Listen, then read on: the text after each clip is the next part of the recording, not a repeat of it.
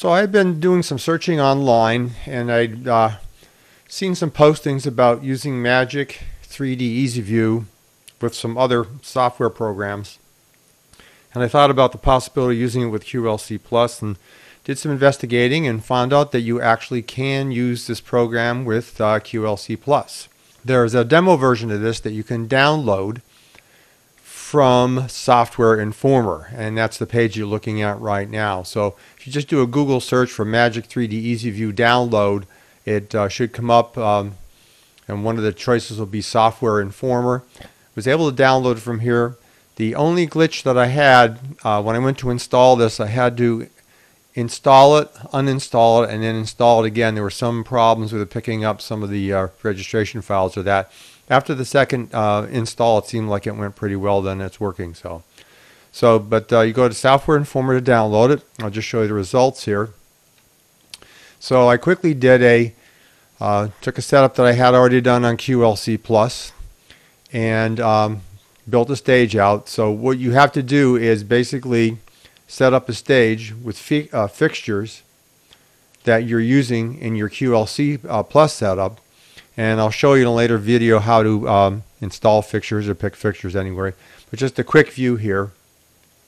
So this particular setup, I'm using three rows of ETC source 4s, kind of like mimicking ETC source 4. So they have a 36 degree beam. And in the back, back here, I have some Chauvet LED uh, wash lights.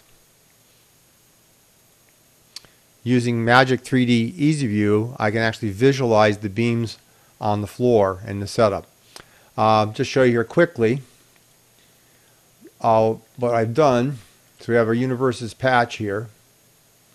And I'm using the ArtNet universe and then QLC is sending a signal to ArtNet1. So if I look at my inputs outputs, I'm doing ArtNet and I'm 10.0.0.9 because that's the IP address of this computer. So I'm running QLC Plus and the program on the same computer. So that's why this program is outputting or in, inputting ArtNet at the same address. So my whatever your computer address is.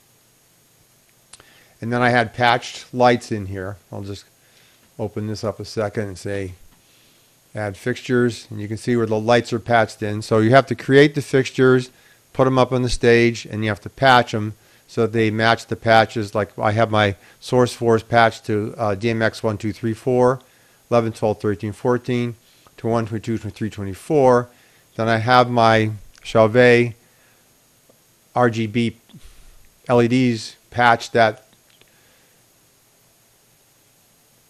31, 41, 51, and then 61. And they have several channels each. So you do have to get in, create the fixtures, and then patch them. Once you basically have it though created and placed and then patched, then you can simply connect into my virtual console. And if I put a light on here, you'll actually see it come on on the floor. So this is my first row of lights. You can see those come on. And my second row of source fours. Let me just tilt the stage and I like the features of this where I can just grab my mouse and rotate it around. I'm just holding my left mouse button down and I can rotate and click around here. Second row of lights. Third row of lights. And then I took my Chauvets and I crisscrossed them across the back wall there. Uh, they're all in the same slider here so you'll see all four coming on at the same time. I dim those out. Now you can see if I run some scene cues here that I've created, you can actually see those happening. Scene 1, Scene 2, Scene 3. And I have some fade times built in in 3 seconds here. Scene 4, and Scene 5. Check that out. Can also run cues and it'll display the cue list here. So I'm going to run my cues. Same scenes that I ran over here so you kind of get the idea. But it is kind of a neat idea if you're one that wants to see something other than a 2D representation of your lights coming off and on then you can use this. Now, it is a demo version as far as they know. Uh, the only limitation of this is that there are some features of it that are disabled. Um, there's no other disclaimers that I can see on there that says that it's like a 30-day demo and it times out. Somebody be able, may be able to let me know if that's the case, but as uh, far as I know, it's a demo version with some disabled features on it. Now, if you want to buy the full version, uh, you can go and buy the full version. I think Software Informer gives you the address of where you can purchase the full version from.